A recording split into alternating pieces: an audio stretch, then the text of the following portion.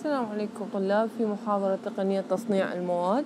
المحاضرة رقم 16 اللي هي عن راح نتكلم اليوم عن ال non-ferrous metal أي المعادن الغير حديدية. طبعا الإنتاج مال المعادن الغير حديدية هي بشكل عام يكون قليل. السبب ذلك يعني هذا مقارنة مقارنة بإنتاج ال iron اللي هو الحديد.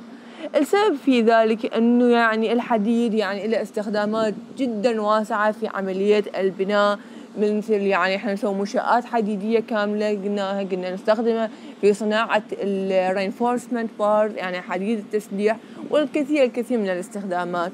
لذلك فهو يعني لما نسوي مقارنة بين إنتاج المعادن الحديدية والمعادن الغير حديدية أكيد المعادن الحديدية الإنتاج مالتها جدا كبير وإنتاج المعادن الغير حديدية مقارنة بها يكون قليل.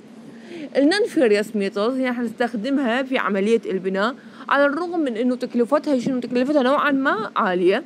يعني يقول لك هنا despite their high cost السبب في ذلك إنه هي ال wide variety of properties. يعني الخصائص الكثيرة اللي موجودة بيه هسه بعض أنواع ال non-ferrous metals يعني بعض أنواع المعادن الغير حديدية اللي عندنا اللي هي الألمنيوم الكوبر النحاس التن القصدير الزنك الليد اللي هو الرصاص والمغنيسيوم.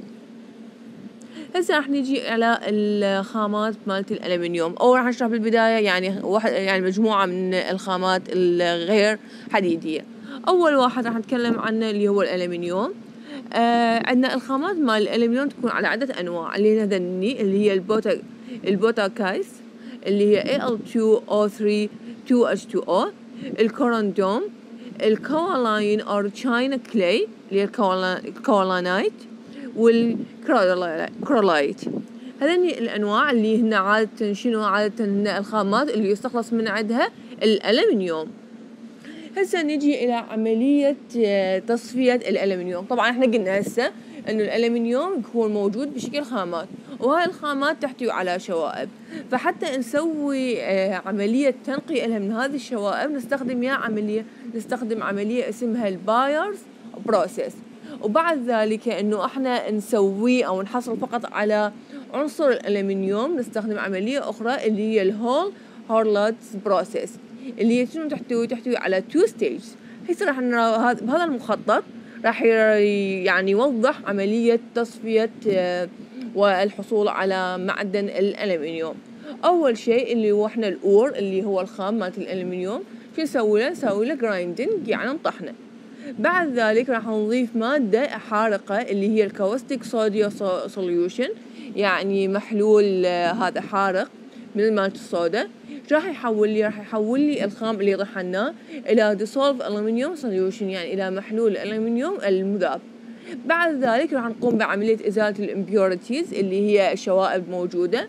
ثم بعد ذلك راح نسوي عملية تنقية وتصفية باستخدام الواء اللي هي ريموفل آه بعد ذلك راح نسوي عملية ال electrolysis. ال electrolysis يعني عملية تحليل الكهربائي يعني آه، بشكل عام هي هاي العملية إنه أنا أجيب حوض بمحلول إلكتروليتي وأحط قطبين قطب اللي هو الألمنيوم اللي أريد أزيل الشوائب منه والقطب الآخر تجمع عليه شوائب. أمر تيار كهربائي راح شوائب راح هاي الشوائب إيش قلنا؟ إنه تنتقل من الألمنيوم إلى المعدن الآخر.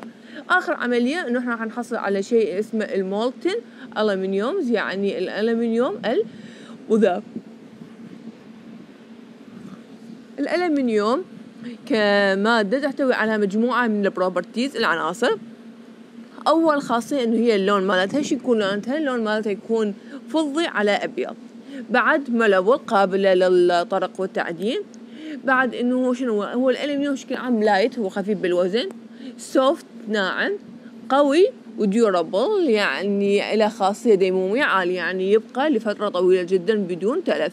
ال thermal conductivity مالته هو قليل واطئ لكن هو يعتبر شنو؟ هو يعتبر good conductor لل electricity يعني موصل جيد الماء موصل جيد للكهرباء. الألمنيوم ممكن يعني كعنصر إنه إحنا ممكن نسوي له riveted يعني هذا نستخدم ذني ال rivetات بيه و welded يلحم بس هو شنو ما ممكن يصير بيه؟ soldered ال melting point يعني نقطة مالته اللي يبدي بيها الألمنيوم يموع أو يذوب هي ستمية وسبعة وخمسين درجة سيليزية. ال tensile strength يعني اجيها قوة الشد العفو الموجودة بالألمنيوم هي هي مقدارها مية وسبعتاعش point اثنين نيوتن على المليمتر تربيع.